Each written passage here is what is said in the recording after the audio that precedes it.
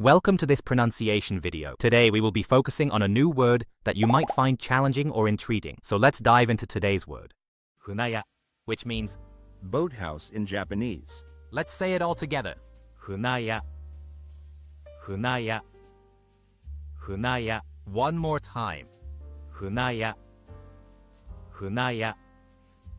Funeya.